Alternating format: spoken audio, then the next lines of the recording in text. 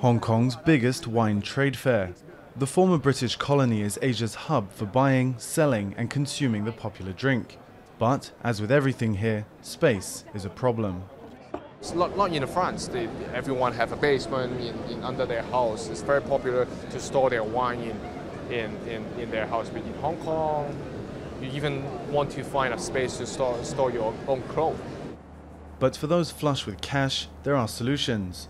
For around 450 US dollars a month, wine buyers can store their prized bottles in private underground cellars in ideal conditions. In order to mimic the, the environment of underground cellars in Bordeaux or other wine regions, uh, we keep the temperature, the temperature around in the cellars maybe 13, 14 degrees centigrade, humidity around 60 to 80 percent. With some of the world's most prestigious bottles being traded and stored in Hong Kong, security is another factor. One company has repurposed an old British bunker, complete with state-of-the-art surveillance. With the extreme increase in values on wines, and uh, specifically within the rare and fine wine market, uh, it's become um, almost critical that people look after their wines in the same way that you would with diamonds, rare jewelry, rare watches.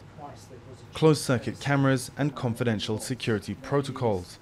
Behind these blast-proof walls lies alcohol worth in excess of $300 million, mostly red wine and champagne.